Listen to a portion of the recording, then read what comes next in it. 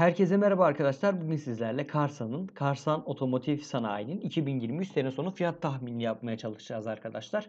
Ondan önce YouTube kanalında e, gerek Twitter, Telegram, YouTube, Instagram'da popüler e, söylenen, çok dillendirilen üstadların, şunların, bunların gerçekten çok üzerine konuştuğu hisseler olsun. Herkesin e, hayatında bir kere alıp sattığı hisseler olsun. Gerek de onlara binaen daha az popüler olan hisseler olsun. Bunların 2023 sene sonu fiyat tahminlerini çekiyorum arkadaşlar. Şu anlık 74 tane video çekmişim. Tabii ki bu sayıları e, gönül ister ki 300, 400, 500'lere kadar çıkarayım ki çıkaracağım. Farklı projeler de var arkadaşlar. E, çok hızlı bir şekilde abone artıyoruz, arttırıyoruz sizlerin sayesinde. Hepinize teşekkür ediyorum. E, şimdi lafı fazla uzatmadan Karsan'a geçelim arkadaşlar. Şöyle Karsan'ın satışlarına gelip baktığımız zaman e, son dönemlerde gerçekten düzenli bir artış görebiliyoruz ki ondan önce işte az çok sekmeler görebiliyoruz. işte sapmalar görebiliyoruz. Şöyle 2021'de totalde 2 milyarlık bir satış varken arkadaşlar 2022'de bunu neredeyse 3 milyara kadar çıkarmış. Şu an mevcut data arkadaşlar 3 milyar 854 milyona yakın bir satışı var. Şöyle gelip aşağıda çeyreklik satışların oranlarına baktığımız zaman arkadaşlar gerçekten bir fırlama yapmış Karsan. Karsan gerçekten bir fırlama yapmış. Şöyle hemen bir e, satış artış oranı bulalım ki gerçekten çok güzel bir rakam bulacağımıza inanıyorum. E, çünkü görünen köy hani kılavuz istemiyor. Şöyle hemen böldüğüm zaman ilk çeyreğe 271 milyon 92 bin bölüyorum arkadaşlar. Şöyle 4,3'lük bir satış artış oranı var arkadaşlar. Bu muazzam bir oran gerçekten. Şöyle bununla gelip 2022'nin total satışını çarpıyorum ki bir 2023 sene sonu hedef satış miktarı toplamı bulabileyim arkadaşlar. Hemen çarpıyorum. 2 milyar 949 milyon 863 bin olarak çarptığım zaman 12 milyarlık bir e, hedef satış miktarı tahminim var arkadaşlar. Bunu gelip e, Rasyolara göre analiz kısmından şöyle kar sanı bulup girdiğimiz zaman 22 liralık bir hedef fiyat buluyoruz arkadaşlar. Şu an ne kadar karsan? Şu an 10 lira 18 kuruş ki %100'den daha fazlalık bir artış potansiyelimiz var. Şimdi e, farklı birkaç yöntemden daha bulmak istiyorum arkadaşlar ki hani e, siz en e, doğru şekilde kendinizin kafasına yatan yani kafanıza yatan en güzel fiyatı en olabilecek fiyatı kendinize göre tabii ki e, seçip ona göre bir hedef belirleyin. Menzilinizi ona göre oluşturun istiyorum. Şöyle değerleme oranlarına gelelim arkadaşlar. Burada piyasa değeri böyle satışlar rasyosundan tahmini bir piyasa değeri bulalım. Bu piyasa değeri üzerinden üzerinden de işlemler yapalım. Bunu ödenmiş sermayeye bölelim ve e, 2023 sene sonu fiyatını bir de bu şekilde bulalım. Şöyle yüklenirse arkadaşlar. Ee, şöyle piyasa değeri e, satışlar rasyosunu güncel olanı alacağım. 2, 38 şeklinde alacağım. Şöyle e, gelip tahmini satışlarımızı bulmuştuk. Bununla 2,38'i çarptığım zaman yaklaşık 30 milyarlık bir e, tahmini piyasa değeri var arkadaşlar bu yoruna göre. Şu an 9 milyarmış. Şöyle tabii ki 9 milyarlık piyasa değerine göre de bir fiyat bulacağız. Şöyle bilançoya gelelim. Bilançoya şöyle bilançoya kısmında girelim. Burada ödenmiş sermaye bulacağız. Şöyle hemen ödenmiş sermaye diye arattığım zaman arkadaşlar aşağı kısımlarda çıkıyor zaten. Bakalım ne kadarmış ödenmiş sermayemiz. Ödenmiş sermayemiz 900 milyon civarıymış. Gelip bunu 900 milyona böldüğümüz zaman arkadaşlar çıkan fiyat 33 TL 83 kuruş arkadaşlar. Burada da böyle bir fiyat çıktı. E hadi en minimalist deneyelim. Hani 30 milyar olmaz piyasa değeri. İşte 20 milyar olur. 20 milyar gelelim e, bölelim. E, Birçok farklı şeyi deniyorum arkadaşlar. Şöyle bunu da 900 milyona böldüğümüz zaman hani bu işleme göre bile 22 lira çıkıyor arkadaşlar. Şöyle e, şirketimizin mevcut fiyatını da tekrardan hatırlatayım. 10,18 kuruş. Şu an gelip e, yatırımcı sunumuna da bakalım. Videonun son noktasında da sona doğru da şu an olması gereken fiyat hakkında bahsedeceğim arkadaşlar. Bir şeylerden tabii ki. Şöyle yatırımcı sunumuna bakıldığı zaman arkadaşlar Yine çok fazla arkadaşlar diyorum. Kusura bakmayın. Bunu aşmaya çalışıyorum.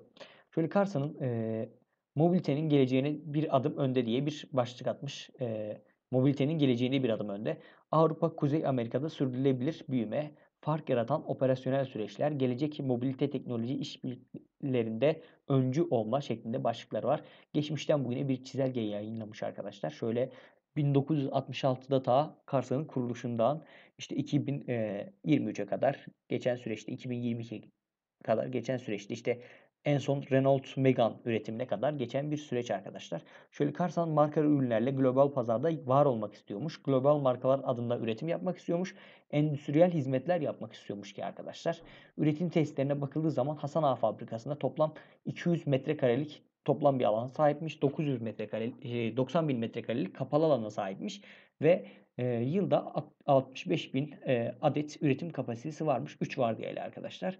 Şöyle e, üretim testlerine bakıldığı zaman Hasan Ağa Fabrikası 2'nin de yine e, 4,5 e, yıllık 4500 adetlik bir üretim kapasitesi varmış. Bir vardiyada hani onu da belirteyim. Üretim testlerinde yine e, OSB fabrikası varmış Bursa'da. Buranın da arkadaşlar e, kapalı alanını görüyorsunuz. Şöyle yeni teknolojik trendlere bakıldığı zaman elektrik, hidrojen, paylaşımlı, modüler, otonom, bağlantılı şeklinde yani otomotiv teknolojileri hakkında geleceğe yönelik çalışmalar da var arkadaşlar. Yeni teknolojik trendlerde yine e, buralardan bir şeylerden bahsetmiş. Ar-Ge çalışması olarak ki bizim şirketlerde en çok aradığımız şeylerden biri 71 tescilli e, şey varmış arkadaşlar. Bunların 11'i patent, 7'li faydalı model, 53'ü de tasarımmış arkadaşlar. İnovasyon odaklı Ar-Ge merkezi, 200 kişilik Ar-Ge takımı varmış. Anahtar teslim ürün çözümleri yapıyorlarmış. Şöyle aşağı kısımlarda şöyle e, regülasyonlar ile gelecek 5 yılda hızlı elektrikli dönüşümden bahsetmiş. Burada şöyle 2030'da yeni şehirci otobüslerin %100 sıfır emisyonlu olmasından bahsetmiş. Gelecek 5 yılda 100 milyar dolarlık bir elektrikli toplu taşıma bütçesi olacağından bahsetmiş. Şöyle aşağı kısımlarda global global toplu ulaşım pazarı elektrikli dönüşümünden bahsetmiş arkadaşlar. Şöyle 2020'de bu 76.685 iken 2030'da 297 bin kadar oluyormuş. Şöyle global toplu ulaşım pazarı elektrikli dönüşümden de yine bahsetmiş. Asya, Pasifik'ten bahsetmiş. Kuzey Amerika'dan, Avrupa'dan, Latin Amerika'dan, Orta Doğu ve Afrika ülkelerinden bahsetmiş ki biz e, şu an Orta Doğu ve Afrika ülkelerinin içinde bulunduğumuzdan mütevellit biz bu oranın en alt kısımlarındayız. Şöyle e, yine şöyle hidrojen elektrikli dönüşümünden bahsetmiş. Aşağı kısımlarda küresel düzeyde iklim değişikliklerini yönetiyoruz diyor ki bildiğiniz üzere gerçekten iklim değişiklikleri de birçok e, sektörde çok önemli ki şu e, spot bilgi de vereyim. Haziran ayı e, şu an 2023 Haziran ayı şu ana kadar ki Haziran aylarının en sıcak geçen Haziran ayıymış arkadaşlar. Bu da aklınızın bir yerinde olsun. Hani bu sektörde olmaz da gıda sektöründe farklı sektörlerde bunu kullanabilirsiniz. Şöyle sürdürülebilirlik endeksi 2021'de 51,2 iken 61,1'e çıkmış. Tabii ki bu şirket için çok güzel bir haber arkadaşlar. Karbon saydamlık projesiyle otomotiv sektör öncülerindenmiş. Bir aşağı kısımlarda başarılarımızdan bahsetmiş. Hedef pazarlarımızdan bahsetmiş. Neymiş hedef pazarları? Şöyle e, bakıldığı zaman 600'den fazla adet Karsan elektrikli aracımız yollarda diyor ki bu e, miktarlara 2019 yılında 68 iken işte 106'ya 133'e ve şu an 287'ye çıkmış ki şurada kendini ikiye katlamış. Bundan da özellikle bahsetmişler. Şu aşağı kısımlarda Avrupa'da en fazla büyüyen markaymış Karsan. Avrupa'nın en çok büyüyen markasıymış ki e, %277'lik bir büyüme oranına sahip arkadaşlar. Aşağı kısımlarda Avrupa'da ilk 5'teyiz diyor. Lüks, Lüksemburg'da işte e, 2021 2022 sezonunda 86 tane arabası varmış. Bu şekilde birinciymiş. E, Portekiz'de yine 45 arabası şey, arabalardan bahsettiğim taşıt arkadaşlar. 45 taşıtı varmış. Burada birinciymiş yine. İşte 2021-22 sezonunda 95 Romanya'da varmış. Fransa'da varmış. Fransa'da dördüncüymüş. Şöyle İtalya'da 12.ymiş ki yeni girişilen pazarlar bunlar. işte Bulgaristan, İspanya, İtalya pazarları biraz daha yeni girişilen pazarlarmış arkadaşlar. 20 ülke, ülkede 600'den adet Karsan elektrikli aracımız yollarda diyor ki bu ülkelere bakıldığı zaman zaten e, genel olarak Avrupa ve e, Amerika ülkeleri olduğunu göreceksiniz arkadaşlar. Şu an e, Asya ve e, Afrika pazarı burada belirtilmemiş ki e, şu an orada mevcut bir çalışmaları yok demek ki e, o pazarlarda yakın bir süre içinde yani Afrika pazarından ziyade işte Asya pazarına girebilir mi diye e, kafamda soru işaretleri var ki oraya girerse orada çok büyük bir pasta arkadaşlar. Şöyle 10 milyon kilometrelik Karsan elektrikli deneyimi varmış ki hani bu da gerçekten çok büyük bir deneyim. Tabii ki bu kadar ülkede çalışmalar var. Bu kadar ülkede çok beğenilen, tercih edilen bir film olması bunu biraz daha gerektiriyor arkadaşlar. Şöyle son 4 yılda Türkiye'de elektrikli minibüs ve otobüs ihracatının %90'ını Karsan yapmış arkadaşlar. Bu hani miktar olarak bakıldığı zaman da görebiliyorsunuz. Şöyle, e-Jest 3 yıldır Avrupa pazar lideriymiş ki bu e-Jest dediğimiz şey bu araç arkadaşlar. Eee, şöyle bakıldığı zaman 2020'de 42 adetken işte bunu 88 adete, 95 adete çıkarıl çıkarmışlar. E e-Atak 2 yıldır Avrupa elektrikli, eee, minibüs pazar lideriymiş ki e-Atak da bu arkadaşlar. Yine bundan da 35 adetken gerçekten çok 3 katlık bir sıçrama yaparak 113 adede çıkmış. Şöyle yolcu taşıyan ilk otonom otobüsmüş ki bu gerçekten, eee, dünyada bakın, bakın bu dünyada, eee, haber olmuş bir konu arkadaşlar. Otonom olarak ilk yolcu taşıyan firma, eee, otonom firmasıymış tabii ki. Eee, aşağı kısımlarda Amerika'da ilk, Avrupa'da ilk olarak görüyorsunuz zaten. Avrupa'dan, eee, 100 e-Ata siparişi varmış. Romanya'dan Türkiye'nin en büyük elektrikli otobüs anlaşmasını imzalamışlar. Şöyle görüyorsunuz. Uluslararası 8 ödülü varmış ki bu ödüllere de bakarsanız Kuzey Amerika'nın ilk elektrikli mini minibüsü yine Karsan piyasasında arkadaşlar. Karsan bünyesinde daha doğrusu. Avrupa şehir içi toplu ulaşım pazarında da gerçekten öncü şirketlerden biri. Eee, bu şekilde arkadaşlar. Yani stratejik çalışmaları var. Eee, onun dışında aşağı inelim.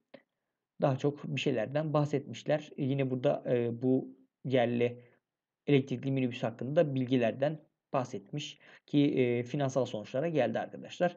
Şimdi biraz da teknik analiz kısmına geçelim. Teknik analize gelip bakıldığı zaman şöyle bir, eee, kanal içerisinde ilerlediğini görüyoruz ki haftalığa bakıldığı zaman haftalıkta daha anlam bulacaktır. Bu kanal böyle görül görüldüğü gibi arkadaşlar. Kanala üst noktada iki yerde, eee, temas görüyoruz. Şurada ve şurada ki tarihler 12 Haziran'la işte 6 Mart olarak görülüyor. Yine 2 Mayıs, işte 8 Mayıs ve 15 Mayıs'ta yani peşi sıra aralıklarla haftalarda 3 hafta boyunca kanalın destek noktalarına temas olmuş. Şöyle aşağı kısma çekeyim. Eee, görüldüğü gibi, eee, kanalı kırmış gözüküyor arkadaşlar ki, eee, yeni formasyon hedefimiz nedir? Kanalın işte burada bir breakout olmuş. Eee, hacimli bir şekilde kırıp kırmayacağını şuradaki hacime aldanmayın. Bu daha işlemin ilk günü olduğu için böyle. Biraz sonra günlükte göreceksiniz. Eee, bu formasyonun hedefi nedir? Bu formasyonun hedefi kırılan kanal kadar, eee, bir artış potansiyelidir. Şöyle aşağı gelelim. Bu kanal boyunu ölçelim. Şöyle bunu klonlu klonlayıp yukarı çıkaralım. Şöyle tam olduğu şekilde şuradan bir çizgi atalım. Tam olmadı. Şöyle tekrardan atalım. Heh, şu an oldu. Kaçlık bir, eee, artış potansiyeli gözüküyor burada? İşte burada yüzde, eee, neredeyse 30'luk bir formasyon artış hedefi var arkadaşlar. Şöyle günlüğe bakıldığı zaman da günlük hacimde göreceksiniz zaten. Hacimli bir şekilde kırdığını şöyle görüyorsunuz. Hacimli bir şekilde bu kanalı yukarıya doğru kırmış. Zaten bugün %8,64 yapmış ki, eee, yapmasının sebebi de bu arkadaşlar. Bu şekilde dediğim gibi, eee, Karsa'nın potansiyeli var. Az önce birçok şeyden bahsettik ki hani bu, ııı, geleceğin teknolojisi, bir 10-15 senenin teknolojisi elektrikli araç teknolojisinde öncü şirketlerden biri Karsan. Eee, ona göre yatırımlarınızı yapabilirsiniz arkadaşlar. Hepinize iyi günler diliyorum.